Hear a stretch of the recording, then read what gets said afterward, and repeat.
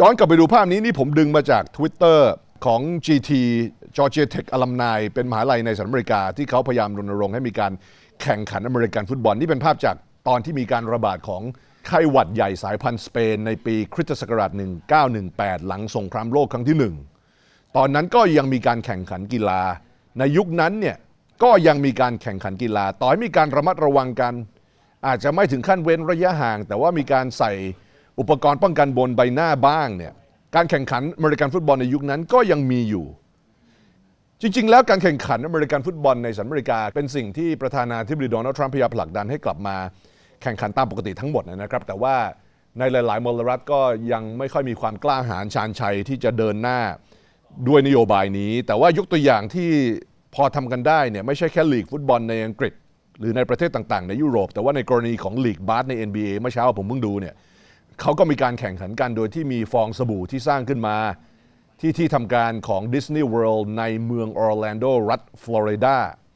แล้วในประเทศสหรัฐอเมริกาที่เขาลองแข่งขันกันโดยที่ใช้ฟองสบู่เนี่ยเขาเรียกง่ายว่าเป็น NBA Bubble NBA Bubble คือถ้าคุณเดินทางออกเนี่ยคุณก็จะอดแข่งขัน พอกลับเข้ามาอีกทีคุณก็จะต้องตรวจเชื้อ ไปไปมานักบาสในลีก NBA ที่แข่งขันกันทุกวันเนี่ยก็ไม่มีใครติดเชื้อเลย เพราะว่าเขาตรวจเชื้อกันตลอด อันนี้ก็รอบข้อเป็นพิเศษ แต่ก็ทำได้นะฮะ จริง ๆ แล้วการแข่งขันกีฬาต้องกลับมาสู่สภาวะปกติ รายงานก่อนหน้านี้ซึ่งมีเว็บไซต์ Zero H ได้อ้างอิง อันนี้ผมแนะนำอีกทีหนึ่งเพราะว่า Zero H เขาไม่ได้เอาเฟกนิวส์ที่ไหนมา Facebook เนี่ยชอบหาเรื่องเว็บไซต์ Zero H แต่ว่า Zero H เนี่ยแหล่งข่าวของเขาซึ่งเขาอ้างอิงในงานวิจัยนี้ ซึ่งเกี่ยวกับ ACE2 receptor เนี่ยในจมูกหรือปอดของเด็กเนี่ยนะฮะ งานวิจัยมันตีพิมพ์ลงใน JAMA JAMA น่ะเป็น periodical journal ซึ่ง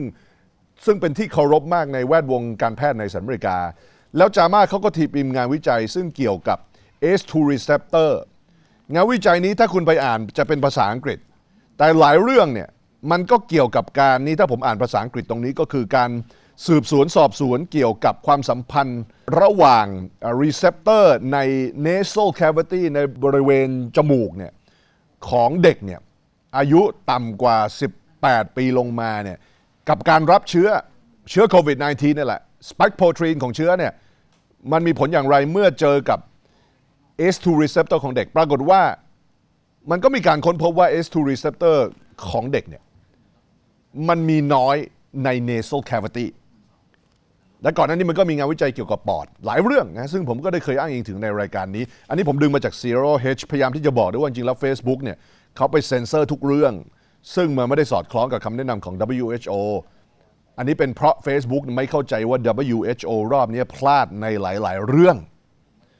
ติดเชื้อโควิดเพิ่มที่ออสเตรเลียในรอบนี้รายงานจาก BBC ล่าสุด เป็นเพราะว่ามีการเดินทางกลับมาประเทศ คนที่กลับภูมิลำเนาเนี่ยกลายมาเป็นความเสี่ยงให้กับประเทศออสเตรเลีย และนิวซีแลนด์ด้วยเอาจริง ๆ แล้วเนี่ยนะฮะเพราะฉะนั้นการทำ travel bubble อาจจะเป็นความเสี่ยงอยู่ด้วยเหมือนกัน เพราะว่าแค่คนซึ่งเป็นพลเมืองถือสัญชาติเดินทางกลับมาจากประเทศอื่นเนี่ยกลับมาที่ประเทศตนเองเนี่ยก็ยังเป็นความเสี่ยงเลย BBC เขารายงานตามเนื้อผ้าตรงนี้ และนี่เป็นสิ่งที่รัฐบาลไทยก็จะต้องประเมินอย่างรอบคอบ ในเวลาดำเนินนโยบาย Travel Bubble ในอนาคต และเป็นสิ่งที่หมอหลายคนรวมทั้งหมอธีระเวลาเขาเตือน ผมก็ยังเชื่อว่าคุณหมอธีระวรธนรัตน์เขาเตือนด้วยความหวังดีล่าสุดเขาก็โพสต์เมื่อเช้านี้เกี่ยวกับความเด็ดขาดในการยังยังขวาง Travel Bubble อยู่ ผมแนะนำให้อ่าน